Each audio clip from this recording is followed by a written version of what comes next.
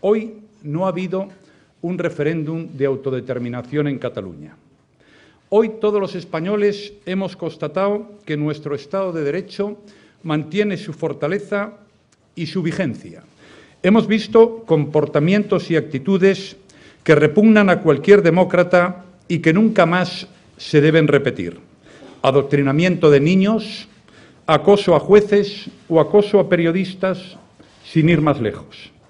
Quiero dejar meridianamente claro que los responsables de estos hechos, de los que han tenido lugar hoy y de los que nos han traído hasta aquí, son única y exclusivamente quienes han promovido la violación de la legalidad y la ruptura de la convivencia.